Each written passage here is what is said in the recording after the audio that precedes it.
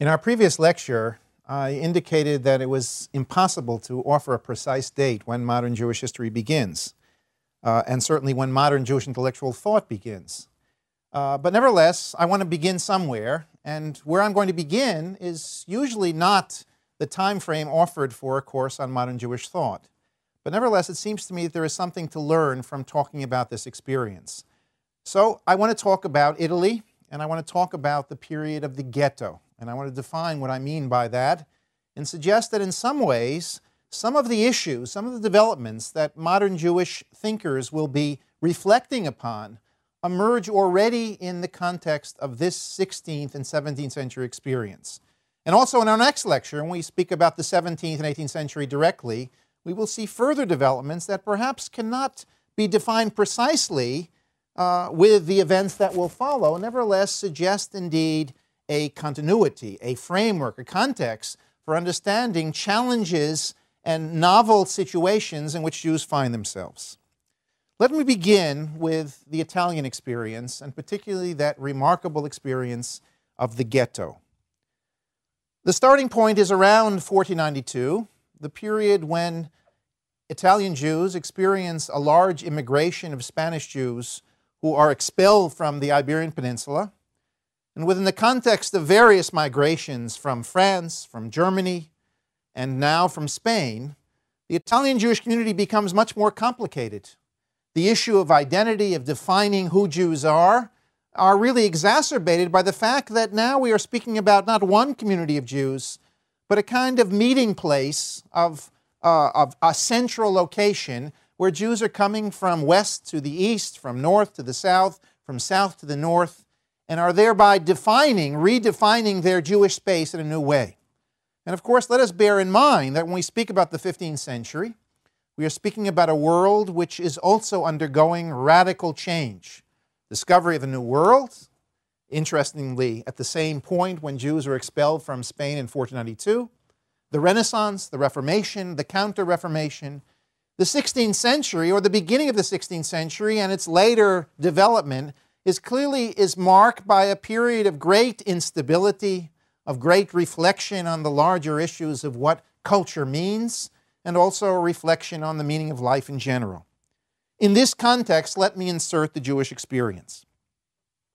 The first ghetto emerges in Venice in the year 1516. The word is, of course, ghetto is laden with negative emotion for the Jewish experience. In our own day, we often use the word quite loosely and inaccurately. There is such a thing as the Warsaw Ghetto, whatever that exactly meant. Black minorities or other minorities often speak about living in the ghetto experience. Uh, clearly, the term uh, suggests any kind of social setting where people are forced, are compelled to live within boundaries, separated from others, and are forced, obliged to live within a certain particular space. The situation of Venice in 1516, of course, was quite different. Indeed, the architects of the Jewish ghetto of Venice believed that they were creating a compulsory segregated quarter in which all Jews were required to live and in which no Christian was allowed to live. That was clearly the ideal. But if any of you have seen the ghetto, even in the 21st century, you know it is a space which is indeed not so closed off. The doors were open during the day. Jews could go out, Christians could come in. And also notice that this ghetto was very much in the heart of the urban center of Venice. And therefore, ironically and paradoxically, what emerges already, and I'm now anticipating what I'm going to say in just a few minutes, is the creation of a space which is supposedly closed but is really open and which is to sort of insulate and isolate Jews from Christians, but ironically and paradoxically does the opposite because of its, uh, its closeness, its cont- contiguity to the larger neighborhoods of Venice.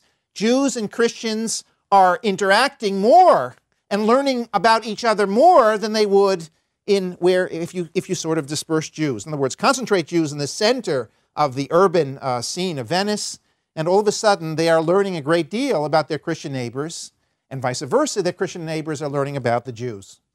But here I'm jumping ahead of myself. The word ghetto itself probably comes from the word gettare, the Italian word for to pour uh, latent, uh, to pour steel, to pour metal, uh, probably coming from the location of a foundry uh, in Venice uh, in the 16th century. Others have defined the term uh, by a Hebrew definition. Ghetto also sounds like the Hebrew word get. Get is the Hebrew word for divorce, as if to suggest a divorce between Jews and Christians.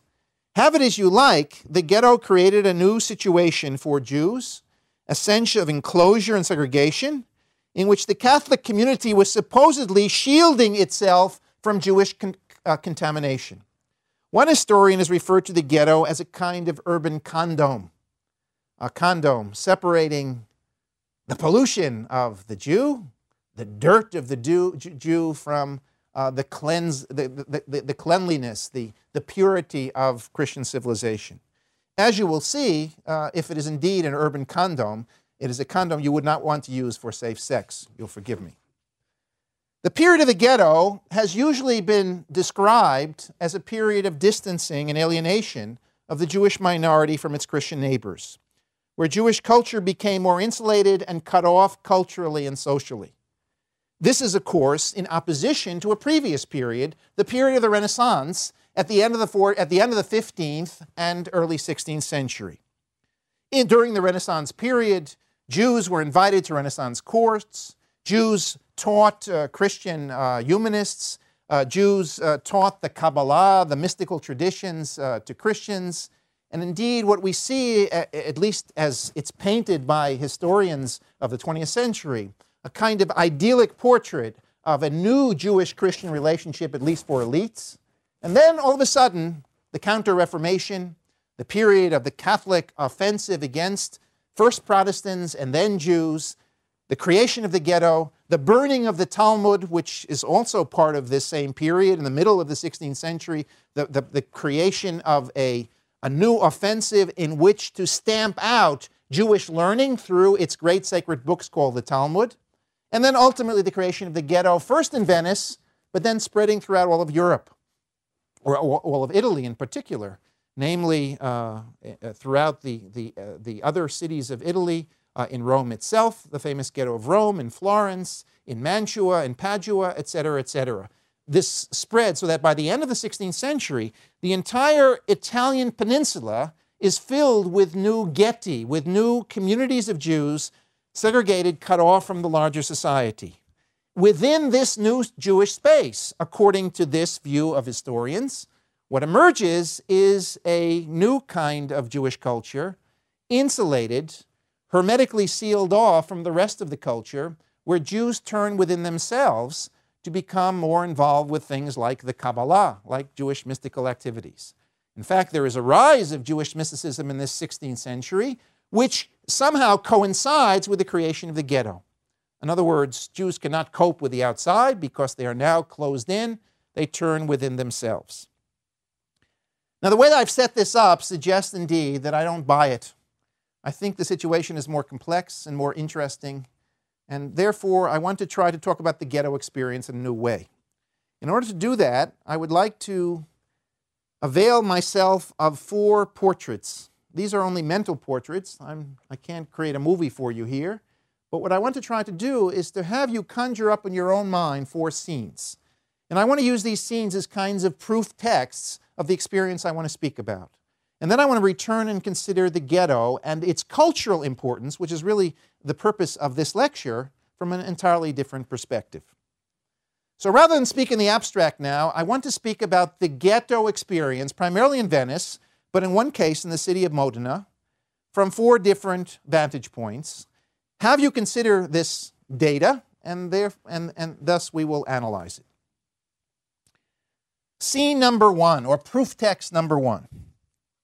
In 1638, in the early part of the 17th century, a rabbi of Venice named Simone Luzzatto, also known in, by his Hebrew uh, first name, Simcha Luzzatto, wrote a work in Italian called, in translation, Discourse on the Condition of the Jews in the Fair City of Venice. This was written in Italian This rabbi had written other works in Italian. Very interesting that a rabbi is not writing in Hebrew, he's not writing rabbinic text, but he's writing in Italian. And his audience is not Jews this time. It is written to the Venetian leaders, the Doge, and their public, arguing in a very interesting pamphlet why the Jews should not be expelled from Venice and its land territories. Apparently, there had been a threat of expulsion. The Jews had lived in Venice for several uh, centuries. They had created a remarkable uh, international trade. They were important as merchants, as moneylenders, as bankers. They were a vital part of the economy of Venice. And now someone had threatened to kick them out. The rabbi, instead of going to pray or to meditate, decides to pick up a pen and to express himself in eloquent Italian and to write to his contemporaries and to say to them, look, you guys are making a big mistake. This is why the Jews should be left in Venice, because we belong here, because we've contributed to this culture, both economically, socially, and culturally. And therefore, I will write this work. This course offers cogent economic and political arguments why Jews should remain in the city and how they have contributed to the culture of Venice. Indeed, Rabbi Luzzatto succeeds in encouraging his, co, his fellow Venetians to forget about this expulsion edict, and he succeeds in his work of anti defamation to convince the public of the utility of the Jews for Venice, and the crisis is abated. All right, that's the first scene. Think of a rabbi writing such a political statement using economic and political arguments to defend Jewish rights in Venice in the early part of the 17th century. Scene number two. In 1624, about 14 years, exactly 14 years earlier, a man by the name of Joseph Chamitz graduates from the medical school of Padua. And his teacher, another renowned Venetian rabbi, Leon Modena, makes him a party. Now, a few words of explanation. Padua was the university where Venetian nobles went to school. In other words, it was part of the Veneto, those land, land areas of Venice. Padua was the great university. It was the great university of science and medicine uh, in the 15th and 16th century, and even in the 17th century during its decline. It was one of the great places to be. It was the Harvard or Yale, or I should say Penn, of, uh, of uh, uh, university culture throughout all of, of European civilization. Clearly, Jews attending the university is a novel endeavor. There are rumors of Jews attending universities during the medieval period, uh, for example, in Montpellier in France.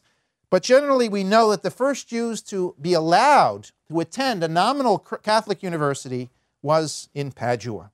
And therefore, what emerges at the end of the 16th century are hundreds of Jewish kids entering the university. Now, where do you go to school in a, in a Catholic university? You have a, a department of theology, you have a department of law. Both of them are, are colored with Christian theology. Uh, you, law means canon law. The only neutral place you can study is medicine. And therefore, you enter the medical faculty. What emerges from the 16th century on are several hundred graduates of the university, and later on other Italian universities, and later on other European uh, universities, uh, graduating in medicine. The emergence of a kind of collective body of Jewish students who are engaged in secular education through the study of medicine. Chamitz was one of them. Modena, his teacher, published a pamphlet of Hebrew poems written by many Jewish cultural leaders and Paduan graduates. Remarkable achievement. Very interesting also that they should um, celebrate this young man graduating from the university by writing Hebrew poems. I'm not saying they were good Hebrew poems, but they were, they were poems uh, written by doctors, by, for, by former graduates of Padua, and so on, celebrating this great moment. The event thereby symbolized the larger reality of talented Jewish students attending this Catholic university, entering the medical field, and through their education, which included both the humanities and the science, this was a humanistic education, Latin and Latin texts, uh, along with the medical and the scientific texts, coming out and serving as doctors throughout Italy and throughout all of Europe. In other words, this particular intellectual elite, which is shaped by the university, is clearly a new thing. Chamitz is a very interesting study because ultimately he finds, he becomes infatuated with the Kabbalah, with Jewish mysticism, and even becomes infatuated with the messianic figure we will talk about in the next lecture, named Shabtai Tzvi, and goes off the deep end. And Leon Modena is so upset that he has lost this talented, rational student of the sciences. But nevertheless, what is important to capture at this moment is the notion of a celebration of a Jewish student at the university. This too is a ghetto scene. So that's scene number two. First scene you recall the scene of Luzzatto writing his political pamphlet. The second scene, the celebration of a graduation from the University of Padua. Scene number three, the same Leon Modena, a very colorful Venetian rabbi of the 17th century who leaves us a very interesting autobiography, recruits his talented friend Salamone de Rossi to compose music for the Synagogue of Venice using Hebrew texts, but introducing for the first time polyphony, choral music. In other words, let's lighten up this dry affair. Let's get this guy who writes music for the court of Mantua and the court of Venice. Let's hire him, bring in a group of, uh, of soloists, and let us perform music that is similar to the Baroque church. Indeed, there is a little bit of, uh, of uh, criticism of this approach and Modena is forced to write an accompanying rabbinic responsum, justifying the novelty and arguing that indeed it is kosher, it is, it is okay to do it, it is fine to do this. Uh, De Rossi composes his great songs, which have been recorded up until the 21st century, introducing choral music into the synagogue and transforming the cultural habits of Jews to make them more in line with Catholic society. What emerges quite interestingly is if you've ever listened to this music, and I'm sorry I can't sing you right now, is the fact that the Hebrew words make it Jewish, but the music itself is clearly Baroque, and clearly you could hear the same kind of music more or less in the Catholic Church. This is what I meant by the ghetto being a place that seemingly is distancing you from the Christian society, but in a real way is making you feel much closer because you are hearing aesthetically, you are reacting in the same way that your Christians, uh, um, uh, Italians, are reacting to their own church service in a similar way you do it for your synagogue. So, scene number three, therefore, is the emergence of choral music in the synagogue in the 17th century. Finally, scene number four. At the end of the 16th century, a rabbi who was also a Kabbalist, that, that is, a uh, expert on Jewish mystical tradition, by the name of Aaron Berechiah of Modena, community of Jews not too far away from Venice, decided to curb a good time. There had been a tremendous Jewish festival, a very Italian Jewish festival. On the night before, a young man was initiated into the covenant of Abraham by being circumcised what we call in Hebrew a brit milah, to have his brit, the people got together and had a party, a big party. Men and women, wine, you know, vino, this was still Italy, uh, enjoying themselves, uh, laughing it up, enjoying each other's company, going on all through the night, getting plastered with wine. And then hopefully the one who was to circumcise the kid was not too drunk, and in the morning he would do the ritual act and everything would be, uh, would be fine. The rabbi heard about this. This had been going on for years after years after years and said, No way. We have to stop this. Essentially, men and women need to be separated. Essentially, the members of the religious confraternity, called in Hebrew the chevra, will take over the study of mystical texts and pray throughout the entire night to make it a very serious and somber experience. And thus, toning down this popular celebration is the way to go by sacralizing it. Now, what does this remind you of? It should remind you of essentially a Catholic Church during the period of the Counter Reform, during the, the, the, the, the Counter Reformation of the Catholic Church, also entering into the secular pockets of Italian society and transforming them by sacralizing them, by making them more religious In other words, a religious authority on the top trying to impose its will on ordinary parishioners. Indeed, that rabbi is functioning in a very similar way to his own Catholic uh, counterparts. So that story, that last scene, may seem sort of out of uh, whack with the other three scenes, but I'm going to suggest here, by using these scenes, a larger picture that will emerge. I threw out the word before paradoxically, ironically, paradoxically. I want to come back to the word paradox. Paradox may be a difficult word for an historian to use because it sort of suggests that he doesn't understand fully what he's talking about. We have a paradoxical situation here. But in this respect, paradox is the right word to use in describing what we think is going to be, but what actually emerges. No doubt, the ghetto was congested and dirty and humiliating and miserable. I'm not suggesting here that ghettos are great, and certainly the ghetto of Venice and the ghettos that followed in the 16th and 17th century. Indeed, when you look at the Venetian ghetto today, the whole square has been cleared, there's a lot of space, there's a big courtyard, and so on. In the 16th and 17th century, it was filled with very high buildings and everything was closed, and it was dirty, and it was smelly, and there were poor people, and there were beggars, and so on. It wasn't such an idyllic place. On the other hand, there is something to be good to, to be said about this ghetto experience. What is the opposite of ghetto when one speaks about the ghetto experience in the 16th century? You must recall that by 1492 and 1497, Jews had been expelled from over most of all, over all of Western Europe in England in 1290, in France in 1306, in France again in 1384, uh, in Spain in 1492, in, in Portugal in 1497, in 1569 from the Papal States. In other words, the rule of order, the rule uh, that we know, the, the, the norm, so to speak, was indeed to kick out the Jews, to forcefully remove them, and to force them to find a new home elsewhere. What does ghetto do? It may be small, it may be dirty, it may be confining but it is a sense of entitlement. It is saying, the Christians are saying, this is your Jewish space. This is your space within the geography of Christian space. This is your area. You are entitled to live here. Ghetto legitimizes Jewish existence. In other words, the sense of entitlement must be balanced against the notion of expulsion. By offering Jews a place within Christian society, it offered the Jews a new sense of intimacy with Christians, a new sense of belonging and identifying with the outside culture, because the ghetto was indeed right next to, contiguous with Christian space.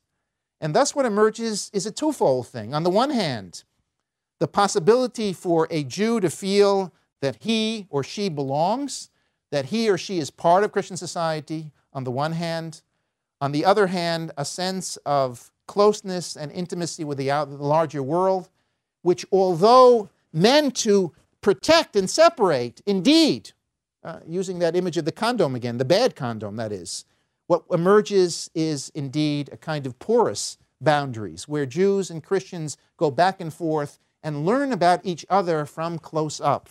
Uh, now, what emerges in this society? Let's take a look at some of the products of this remarkable culture.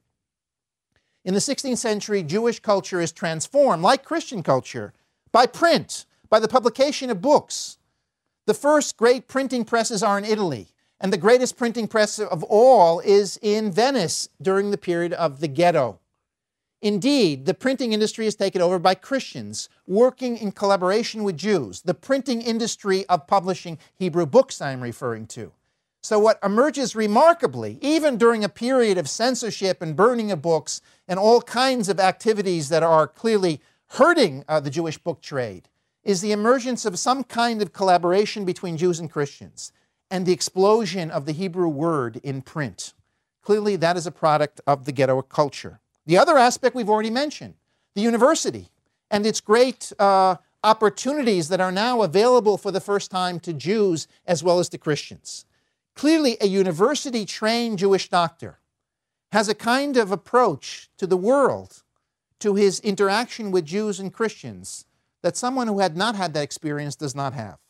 Clearly, by creating a group of intellectual elites who are emerging from the university, who are participating in the forum of great learning going on in the university, something has been also transformed in Jewish culture and in terms of Jewish Christian interaction.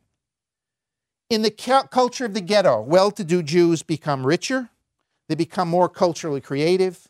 The emergence of Jewish music we have seen, the conspicuous synagogue art, uh, Baroque poetry, marriage certificates, sumptuous wedding feasts. In other words, as in any urban setting, the rich get richer and the poor get poorer. So clearly, we hear at the same time about Jews who have not enough to eat, who are struggling, who are assimilating, who are losing their Hebrew literacy. At the same time, we hear about rich who are creating all kinds of synagogue art on the one hand, and, and, and Hebrew literature and Hebrew works of great intensity uh, on the other hand.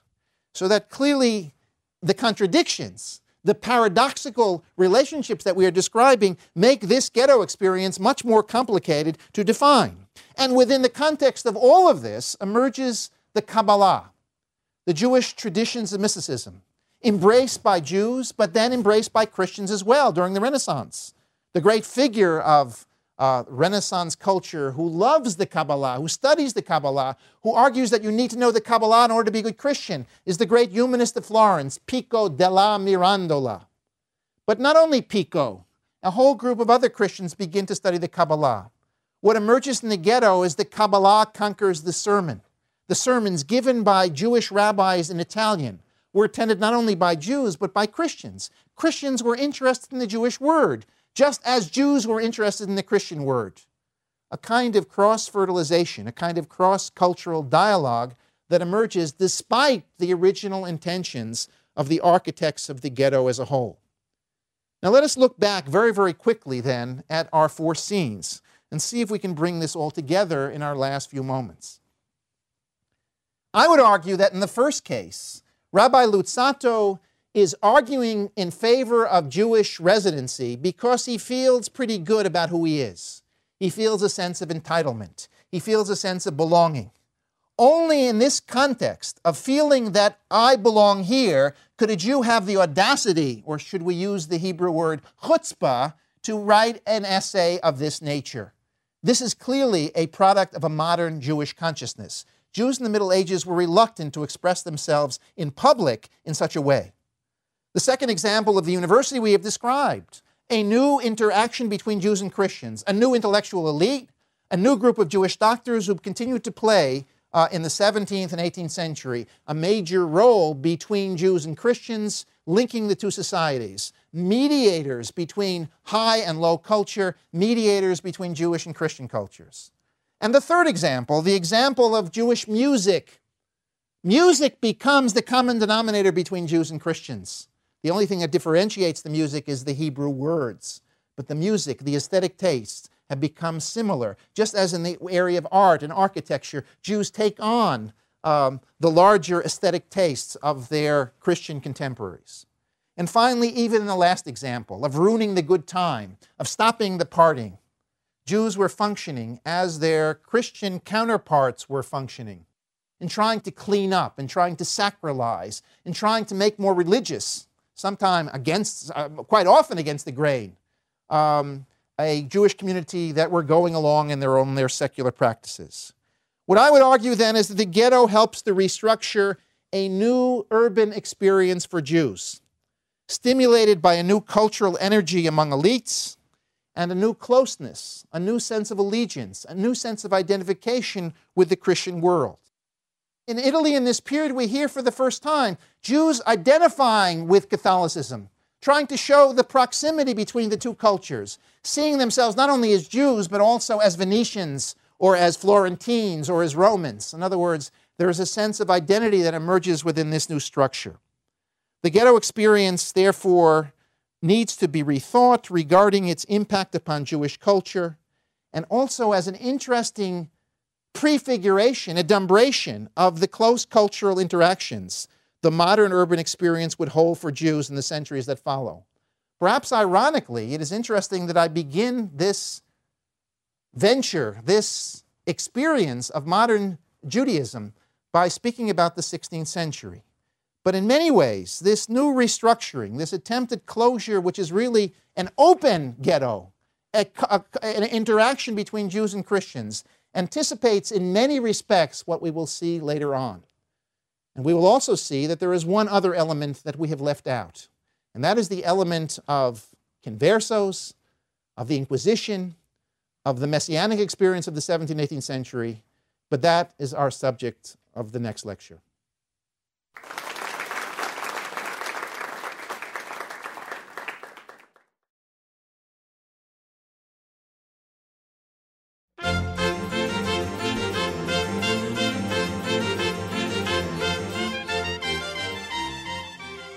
Lecture 4 17th Century Marranism and Messianism.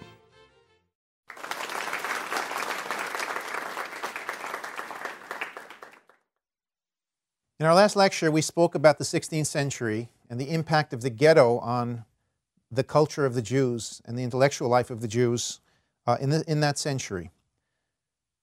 There are two further themes that I want to develop in this lecture that take us into the 17th century as a center of Jewish cultural transformation and change. The first has to do with the emergence of a new phenomenon in Jewish life called the converso. And the second, the emergence of a messianic movement with large ramifications for Jewish life as well, called Sabbatianism or the messiahship of Shabtai Tzvi. And in a remarkable way, these two forces, these through developments, in fact, are to be linked.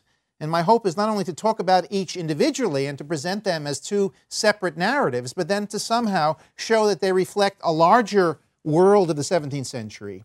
And that world, of course, will help us to explain the subject of our next lecture, which is Benedict Spinoza. Let me begin with the converso phenomenon. What I'm speaking about is begins actually in 1391.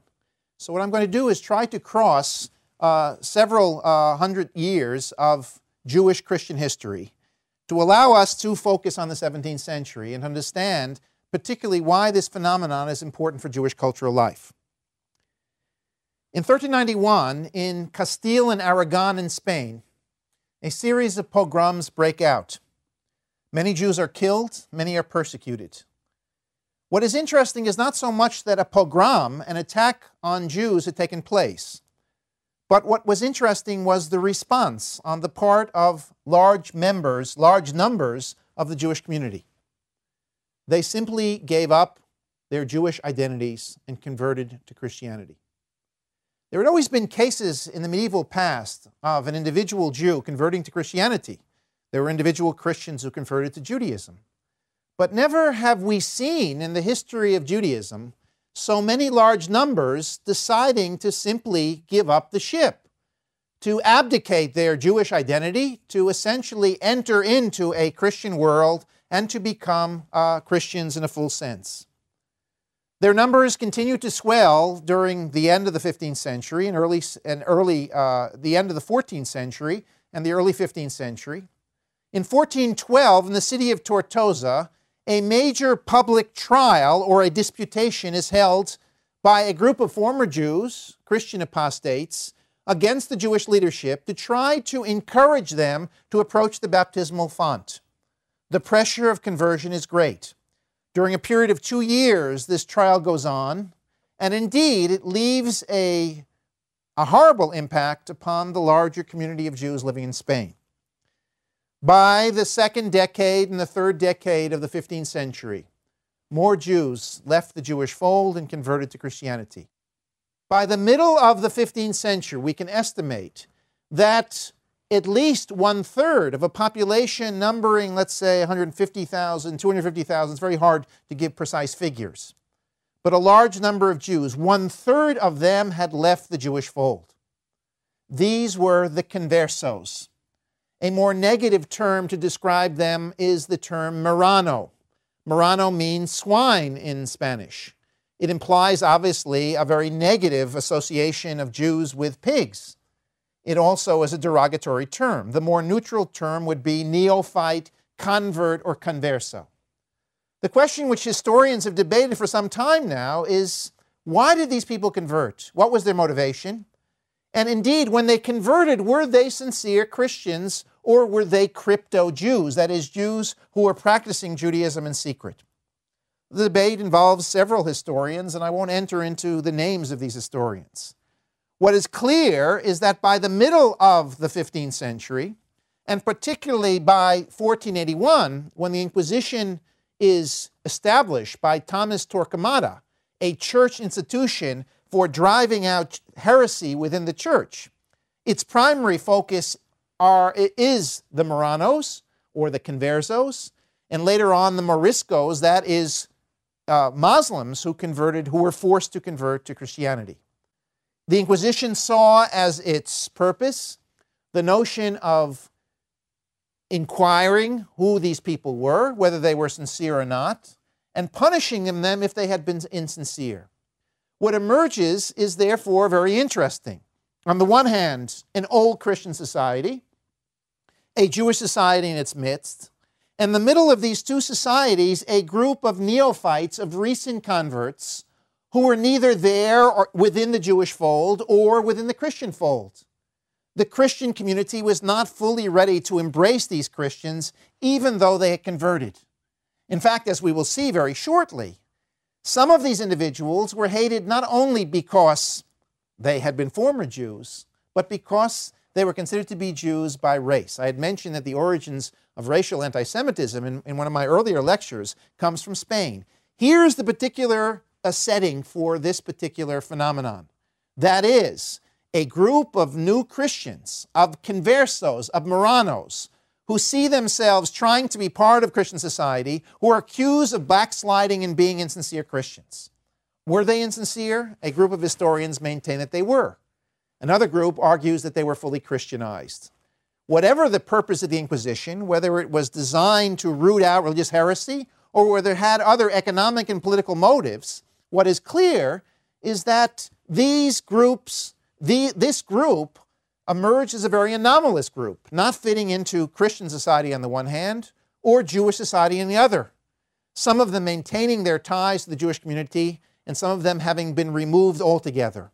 But in the background of all of this is a growing hatred not only for the Jew in Christian society in Spain, but also in particular of uh, uh, a hatred of the Marrano, of the Converso. Now, what happens, of course, is that the Jews are finally expelled in the year 1492. And as a result, as the Inquisition and as those of the monarchy of Spain proclaim, to remove that lifeline of the Jewish community, these conversos will then fully integrate and fully enter Christian society. And more or less, that's what happens after 1492. The Inquisition turns to dealing with other heretics, and the number of Marrano heretics continues to decline. But our story is not over. Most of the Jews now who are expelled from Spain in 1492 end up in Portugal. It is the nearest place to go, same climate, same environment, uh, same area in which to live in. And they enter Portugal, and there they create a new situation for the King of Portugal. Five years later, in the year 1497, the King of Portugal proclaims either get out of Portugal or you will be converted forcefully to Christianity. And therefore, there is another expulsion from Portugal. At the same time, large numbers of Jews now remain in Portugal having been converted in one day, and obviously not being sincere about this conversion. The converso problem declines in Spain, but it rises in Portugal.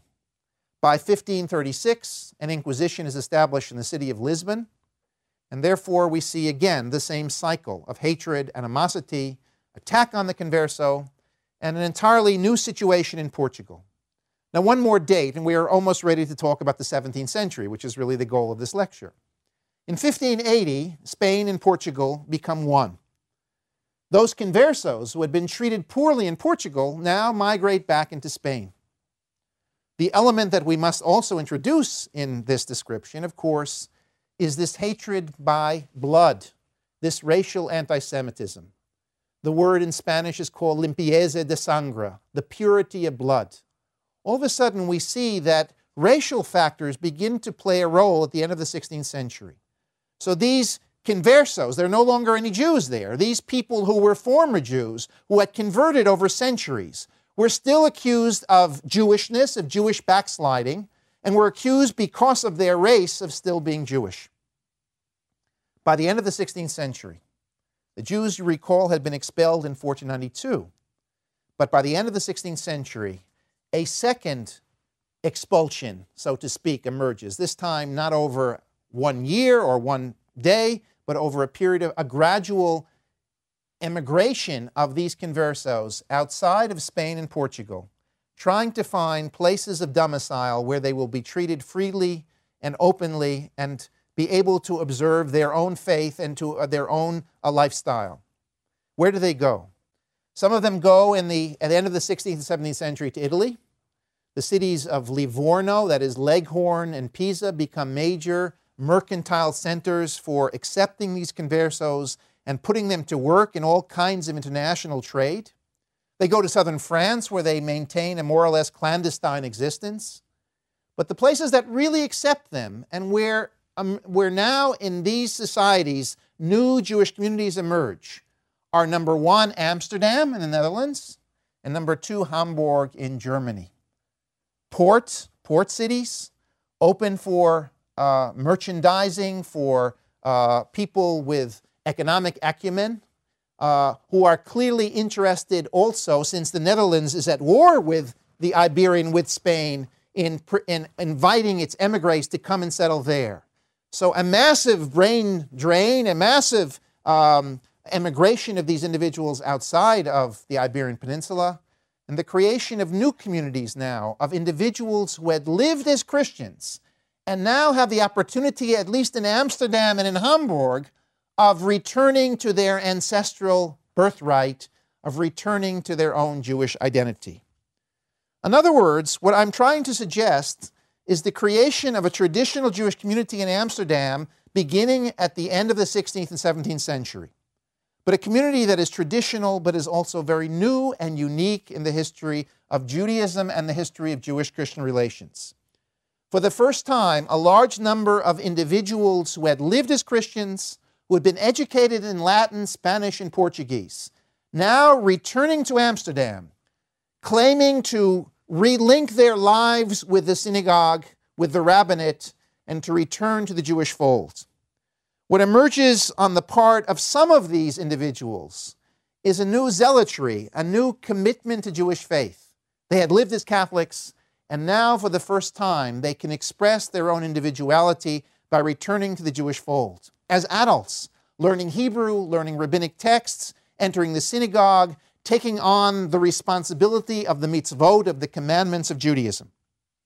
At the same time, there were others who could not care less, who simply found themselves agnostic, uninterested, interested more in the economic opportunities that uh, Dutch Amsterdam offered rather than the religious or, or cultural opportunities. Clearly, for these individuals, whether they were convinced Catholics or opportunists or open to any religious experience or indifferent to all of them, clearly there were a wide variety of these individuals. But ironically, what is interesting is that they saw themselves as part as one nation. The same racial categorizing that had gone on on the part of their oppressors, calling them Jews by race, seemed to define them. They could be secular, they could be unconnected to Jewish affairs, to Jewish ritual and Jewish belief, but nevertheless, they were members of the Nation. Nation in the sense of not Jews in general, but this particular Jewish ancestry, a Sephardic Jewish ancestry, a converso Jewish ancestry that had originated in Spain, as we saw from 1391 on. This is a remarkable Jewish community in Amsterdam, a community of great cultural significance. Many of them were doctors. Many of them were deeply committed to the study of Spanish and Portuguese literature. Many of them who had dual loyalty, so to speak. On the one hand, they wanted to be Jewish. On the other hand, they also wanted to be Dutch. And on the other hand, they wanted to preserve the legacy of their Spanish and Portuguese roots.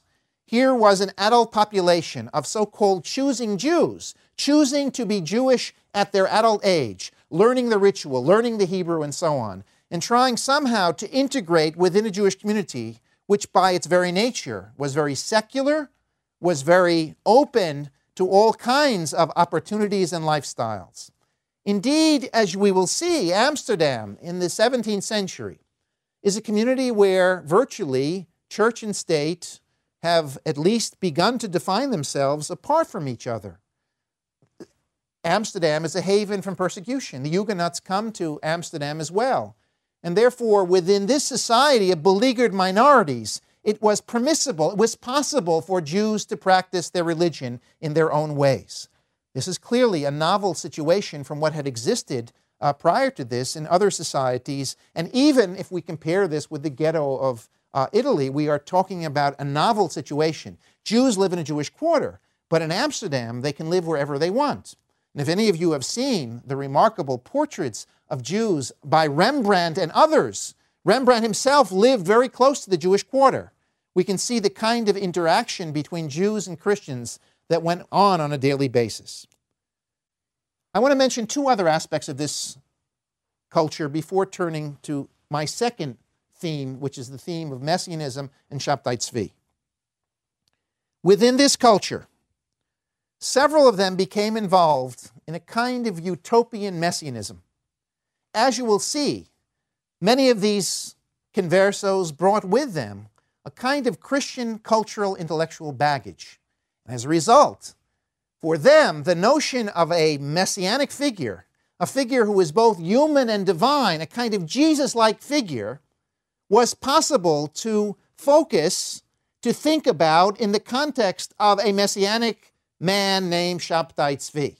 In other words, what I'm saying is that it is quite interesting, and I'll come back to this point, that the conversos themselves, at least some of them, were attracted to the messianic movement which dominated the 17th century within larger Jewish culture. The second point I want to make, and I will develop this point also in a later lecture, is that for at least a minority of these conversos, the rite de passage, that movement from one world to the next, the rites of passage, could not be an easy one. And for those who imagine that by being a Jew, as opposed to being a Catholic, I would rid myself of all of these uh, crazy notions, of all of these orthodox attitudes, of, of all of these, uh, of, of these ideas that had no value whatsoever, they discovered that is, a certain conversos, that rabbinic Judaism was just as complex, was just as dogmatic, was just as close minded as Orthodox Catholicism was as well.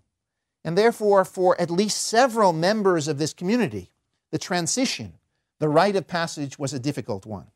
I want to mention three individuals in this respect who became heretical, who became opposed to rabbinic Judaism and were thrown out of that community. One is a man named Juan de Prado, another is Uriel de Costa. Uriel de Costa eventually committed suicide because of the extraordinary challenges he could simply not face, the reality of what Judaism meant and what he imagined it to be. And of course, the third person in this group is himself Benedict Spinoza, and we will talk about his background and his particular importance to Jewish thought uh, in our next lecture. So clearly, therefore, the converso phenomenon of the 17th century, the creation of converso communities in Amsterdam and Hamburg, in Italy and elsewhere, clearly changes a picture. It brings Jews and Christians together. It creates a new mentality. It creates a new way of thinking about the relationship between Judaism and Christianity, particularly because of the interesting history and legacy of this converso group. Now, my second theme is as interesting and as bizarre as the first. And the point is that they do connect. Here I'm speaking about a phenomenon of a Messiah who declares himself born in Turkey, declaring himself the Messiah in Palestine in the year 1665 66. And then, after being caught by Turkish authorities, by Ottoman authorities, decides, decides to convert to Islam. And we all know that if you're going to be a Jewish Messiah, it's not a great idea to convert to Islam or to any other religion for that matter. And we would assume by this point that this Messiah story is over. Just a deranged individual who decides to do a strange thing and converts to Islam. But what is interesting is that the messiahship of Shabtai Tzvi is not over. And that at least among the radical members of his society, they saw in his conversion a secret, a secret that would bring about ultimately the messianic end. The historian of the Kabbalah we mentioned before, Gershom Scholem, has written a great deal about this figure, Shabtai Tzvi, and about his movement called Sabbatianism. He argues that essentially the ideas of Shabtai Tzvi, or the rationalization of his conversion to Islam, came from a set of ideas that had been previously in the air, coming out of a community of Jews who had lived in Palestine, particularly in Safed, surrounding the figure of Isaac Luria, a Kabbalist of the 16th century.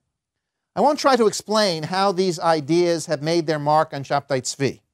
But what I want to offer is a larger canvas in which to understand Shabtai Tzvi. First of all, the story of Shabtai Tzvi.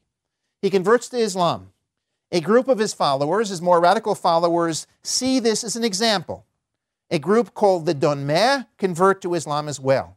And throughout the 17th and the 18th and even into the 19th century, we have remnants of Jewish families who convert to Islam. In the 18th century, another figure by the name of Jacob Frank, a very strange, bizarre fellow, goes down and studies with this group, returns, he had been born in Poland, returns to Poland, and then decides that he will convert to Christianity. And with a thousand of his followers in Warsaw, they are not only convert, but they are sent to the Inquisition because they are clearly a heresy either to Judaism or to Christianity. Frank is a nihilist, argues, like the Donmeh, that in order to bring about the messianic end, we can no longer observe Jewish law. We must break the, the, uh, the stranglehold of the rabbis. And therefore, what emerges within these two extreme factions of this messianic movement is a total break with the norms of traditional Jewish society. This is why Gershom Scholem, as we said, had triggered, had, had seen this particular moment as the trigger for the creation of a modern Jewish consciousness. That is, a rebellion against Jewish norms, against Jewish tradition. Whatever the case may be, these group of Frankists, as they became known, or the Donmeh Turkey, created havoc. They created a kind of fear and anxiety among a rabbinic establishment in the 18th century. And by the 18th century, it wasn't even clear whether you were a follower of Shabtai Tzvi or not. If you were called a Sabbatian, if you were called a member of this hated sect, you were essentially a deviant. You were essentially an individual who was a dissenter from the tradition. I would like to use the word to describe this group, a word that is used within Christian culture of the time, as enthusiast. That is, a person who believes that his own understanding of God, of faith, his belief system, takes precedence over any other collective tradition.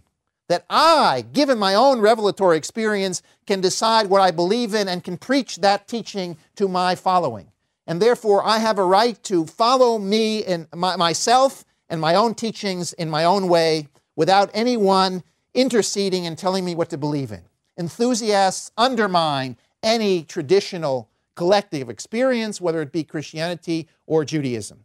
By the 18th century, the word Shabtai or Sabbatian, Shabtai is the Hebrew for Sabbatean, implies not only a follower of Shabtai Tzvi, but a person who has broken with Jewish law who argues that in his own name he knows the truth and he has a right to decide that truth. What is interesting is that already in the time of Shabtai Tzvi, we have a group of conversos, a group of former Christians who had returned to Judaism, finding a home in this bizarre messianic movement.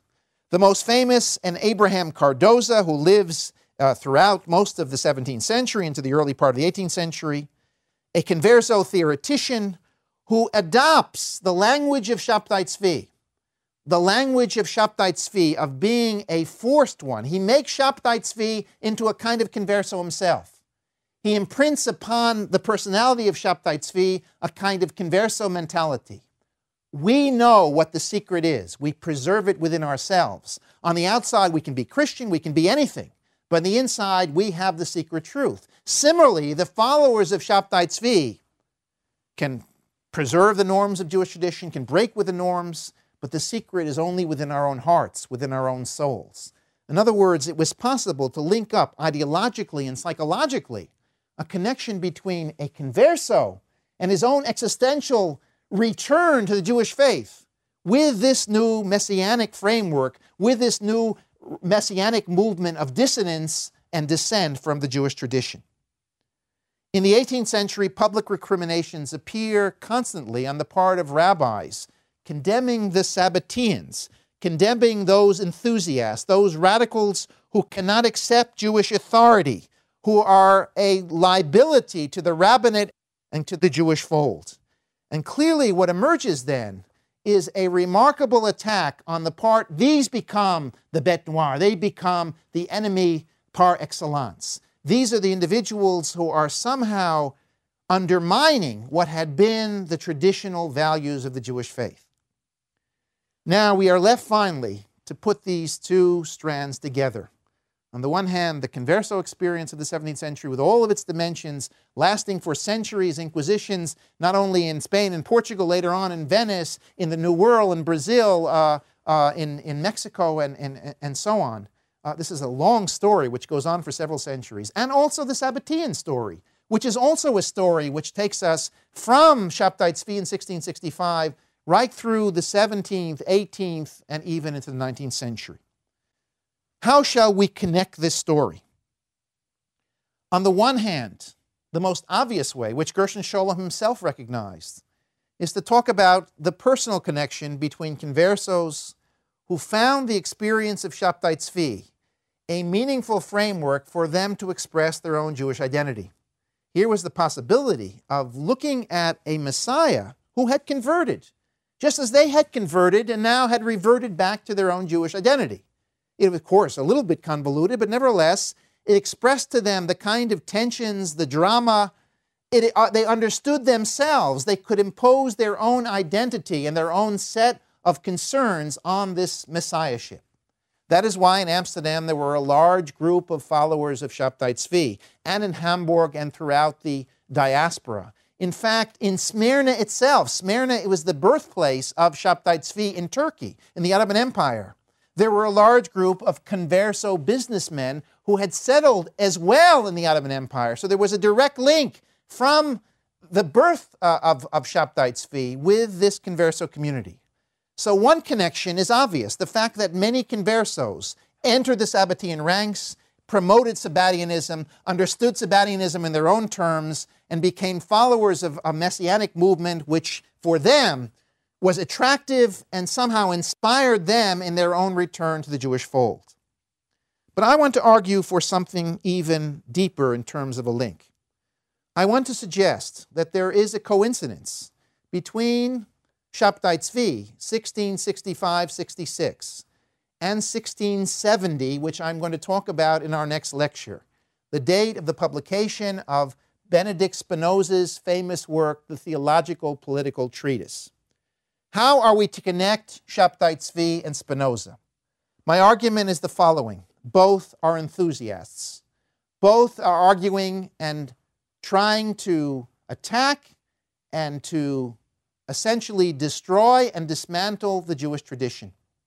Shabtai Tzvi, bringing a messianic ideology, challenging the rabbis, and Spinoza, as we will see, who will take the Jewish tradition and subject it to a rational critique and undermine its viability and its and will essentially undermine the particularity of Jewish identity altogether. They are both enthusiasts. One does it through an irrational means, the other does it through a rational means. But both of them are involved in the concerns of Jewish life. Both of them, from the fringe, are attacking the Jewish center and the Jewish rabbinate and Jewish authority, and thus trying to undermine it if one understands the 17th and 18th century as a period of crisis, as a period of a crisis against authority, political, cultural, social, religious authority, if one links this Jewish phenomenon to a larger world uh, of European civilization as a whole, and understands Spinoza as not only being a Jewish figure within a Jewish intellectual history course, but also as part and parcel of a larger radical critique of religion in general, then one, one understands the intersection of Jewish history with general European cultural history. We are not speaking about a phenomenon which is marginal either to the Jewish experience or to the Western European experience as a whole. We are speaking about something which is remarkably central and remarkably of concern for anyone who studies the history of the Western mind, not only the history of the Jewish mind. So here we have it conversos and Sabbateans together were, in fact, for some historians, and we can now understand why, the first modern Jews in challenging the rabbis, in challenging the authority of Jewish law, and in trying to create a new version of Jewish identity and practice in the 17th century. The dual interlocking phenomenon of Marranism on the one hand, or Conversoism on the, on the one hand, and Sabbatianism on the other, is significant in blurring the boundaries between Judaism and other faiths. Notice we are speaking about Jewish, Christian, Christian, Jewish, one passing from one to the other. And at the same time, facilitating the merger of Jewish ideas with radical religious and political movements in Islam and Christianity well into the 19th century. And of course, we have now laid the, the, the, the groundwork precisely for understanding the origin of the greatest philosopher of the 17th century, and that philosopher is Benedict or Baruch Spinoza.